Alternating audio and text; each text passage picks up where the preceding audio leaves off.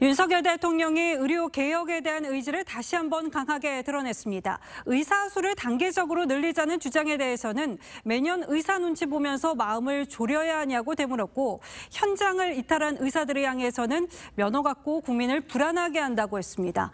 정부는 내일 의대 증원의 대학별 배분안을 발표합니다. 의대 증원에 마침표를 찍겠다는 의미로도 해석할 수 있어 보입니다. 최은영 기자입니다. 850명 윤석열 대통령이 국무회의 전체 발언 시간 28분 중 18분을 의료개혁에 쏟았습니다. 의료 개혁이 바로 국민을 위한 우리의 과업이며 국민의 명령입니다. 단계적 증원은 고령화로 의료 수요가 폭발하는 우리 현실과는 동떨어진 얘기라고 했습니다. 증원을 둘러싼 논란과 갈등이 매년 반복될 거라고도 지적했습니다.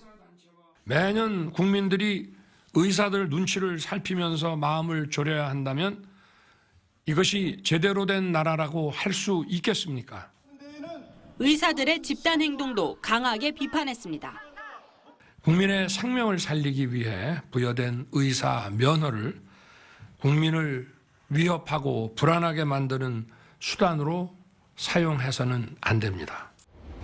정부는 전공의와 교수, 의대생의 현장 복귀를 촉구하며 어떠한 의제도 논의할 수 있다고 했습니다. 하지만 2천 명 증원은 사실상 못 박는 분위기입니다.